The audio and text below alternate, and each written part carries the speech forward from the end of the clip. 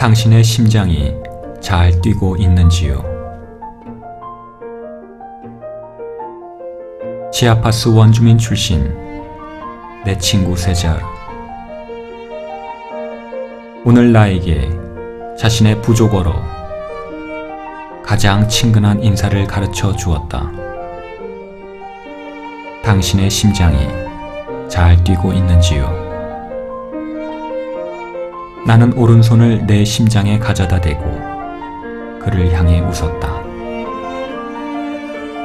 평화로운 나의 박동이 그에게 전달되었다.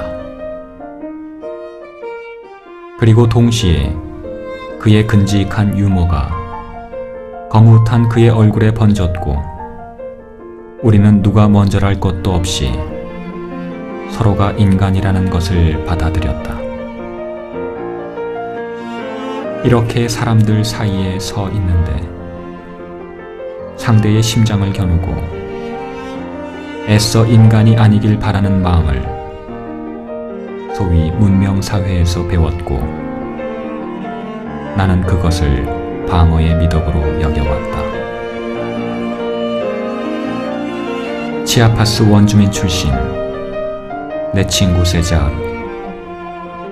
오늘 나에게 자신의 부족어로 인간의 미덕을 가르쳐 주었다.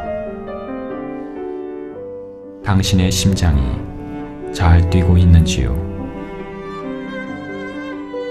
상대의 박동을 염려해 살피는 일에서 허구한 인간의 모순이 엉킨 실타래가 풀리듯 그만 넋을 잃고 인간의 가치에 오히려 주목한다.